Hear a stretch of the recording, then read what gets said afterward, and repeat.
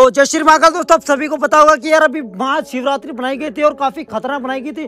बाकी यार दोस्तों आपको एक बात बता देता हूँ कि एक गाँव है जहाँ पे कि काफ़ी खतरनाक से सभी मतलब कि दूध पिलाया जा रहा है शनिवार के दिन और वहाँ पे एक दोस्तों महादेव के चमत्कार ऐसा हुए हैं कि यानी कि यार महादेव खुद आके यानी कि एक नदी एक इसको नदी बोलते हैं इसके अंदर से दूध यानी कि जैसे ही गाय का दूध डाला जा रहा है तो महादेव यानी कि खुद इस दूध को पी रहे हैं। बाकी यार दोस्तों एक बात और बता देता हूँ कि यहाँ पे अगर भैंस का या बकरी का किसी का भी दूध होता है तो उसको नहीं पीते हैं। बाकी यार गैस गाय का दूध होता है, उसको महादेव खुद पीते हैं। और ये वीडियो मैंने खुद ने शूट की है। और ये मेरे पास के गाँव के अंदर ये मंदिर है, यानी कि मेरे पड़ोस के घर के अंदर वहाँ पे हैं। और यहाँ पे सभी लोग आ रखे हैं और सभी मतलब कि ऐसे कर रहे हैं। बाकी दोस्तों, ये वीडियो बिल्कुल भी फेक नहीं है।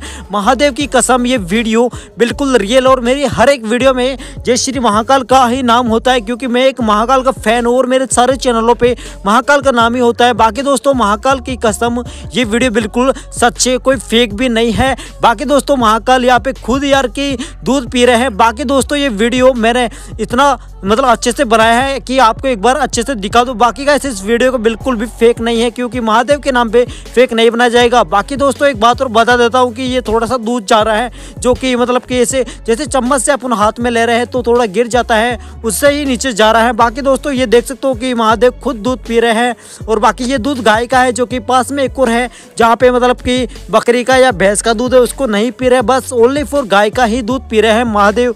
बाकी दोस्तों, दूसरे वाले चम्मच से पिला देते हैं इस तरफ़ जो जो कि ये पिलाएँगे, ये शायद मेरे हिसाब से कि गाय का नहीं है, यानी कि भैंस का दूध है तो इसको नहीं पियेंगे महादेव। बाकी गाय से बकरी का दूध और इनका भैंस का दूध नहीं पीता है, यानी कि गाय का ही दूध पिया जाता है महादेव के। बाकी यहाँ पे काफ़ी लोग आ रखे थे तो मेरे को भी अभी अभी पता चला तो मैं भी यहाँ पे गया था और एक अद्भुत चमत्कार है यहाँ पे काफ़ी लोगों का मतलब कि सपना है महादेव के